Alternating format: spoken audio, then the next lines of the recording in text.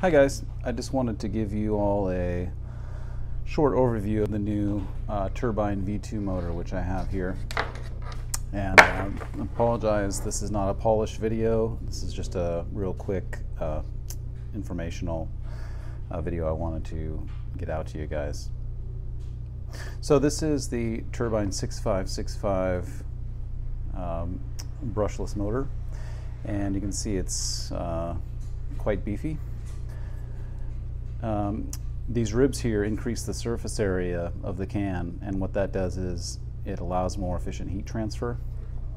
Um, on the back here you'll see the six stainless steel uh, high strength screws that attach this end rotor to the shaft on the inside.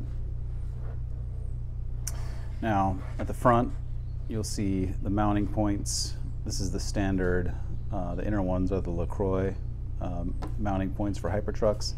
And then there's another um, ring around here. I forget what the size of the outside one is, but I'll put it on the website.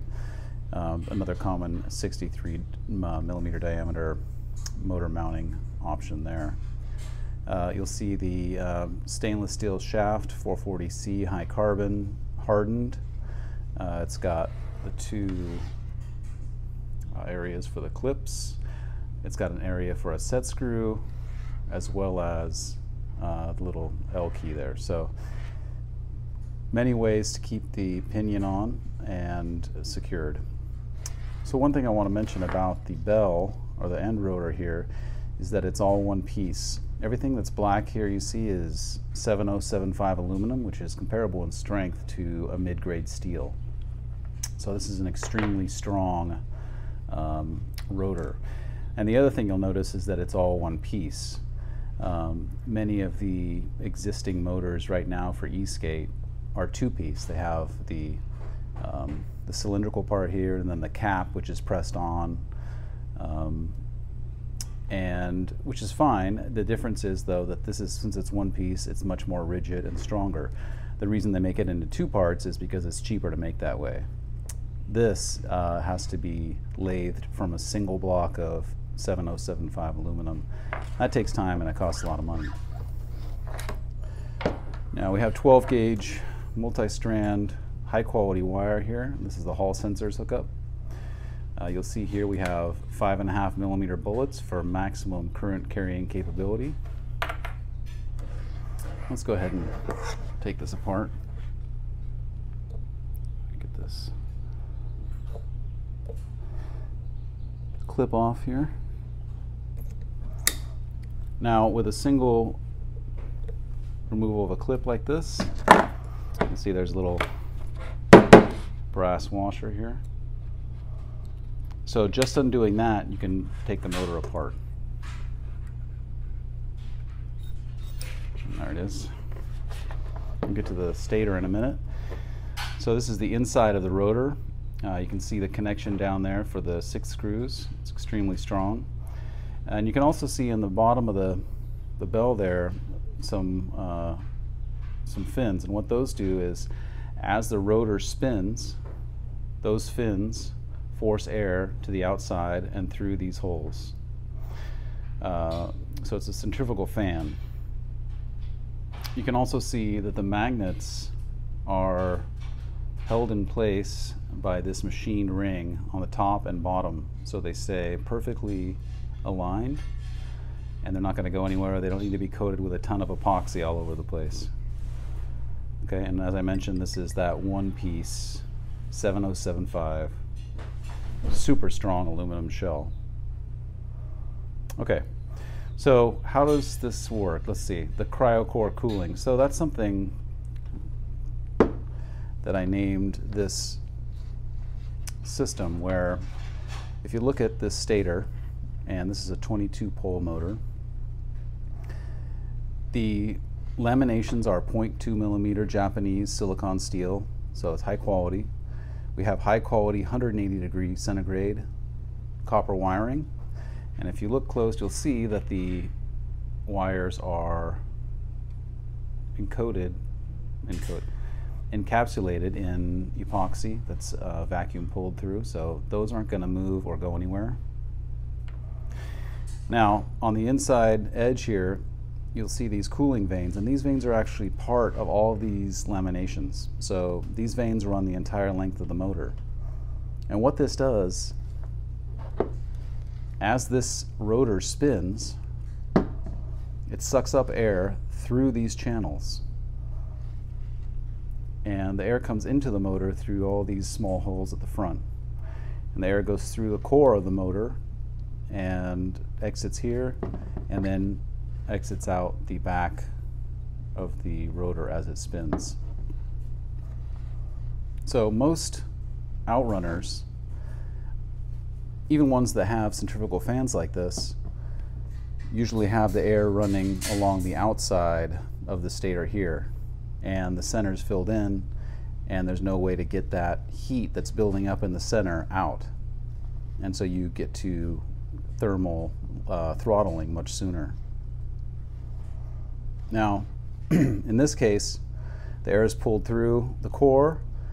It's also allowed to go around the outside of the stator, and that keeps it much cooler than it would normally would be uh, in a comparable size motor.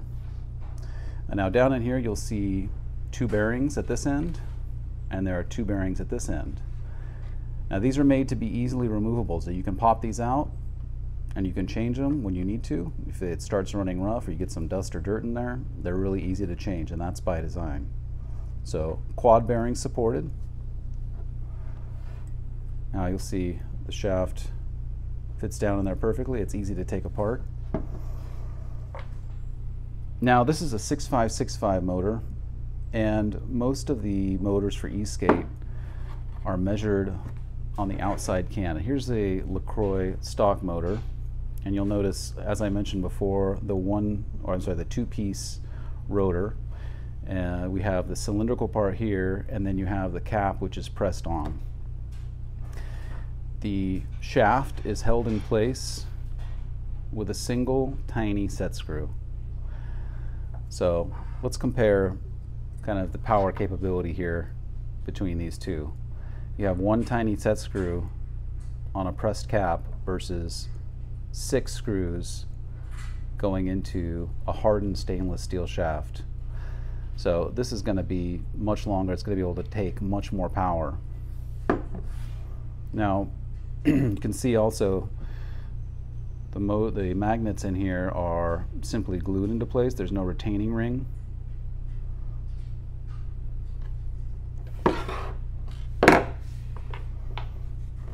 And here's the stator of the same motor. And you can see what I was talking about before. There's no way to get air into this center area. In fact, this motor doesn't even have a vent at all, so it's going to overheat much sooner. Um, and the one major enemy of any brushless motor is heat. And so that's was the primary goal with the 6565 turbine is to get rid of that heat is to keep it as cool as possible for as long as possible so that you don't get that throttle limiting or damage your components. Now, as I was saying before, the Chinese manufacturer motors usually make their measurements on the uh, external rotor. So this is where they measure the height and the diameter when they call their motor uh, 6385 or what have you. Now conversely, the way we measure the turbine is at the stator. So you can see it's almost a square. It's a six, 65 millimeters this way and 65 millimeters this way. You can see the size difference here. And all else being equal, if you have a larger diameter, you have a longer torque arm, or you have a longer moment arm here that you're turning, you're going to get more torque. Not to mention we have the many more poles. Also, I want you to take a look at these really tiny, fragile bearings uh, used in this motor here. These are, in my opinion, not suited to high power use and end up wearing very quickly. And you contrast that with these Japanese NMB or NSK uh, high quality bearings, uh, and there's really kind of no comparison. So, I hope you guys uh, enjoyed this little overview. We're going to have two different two different KVs. Uh, this one is 190 kV, so this is good for 12 to 15S. And then we have 130 kV, and that's going to be good for 18 to 20S.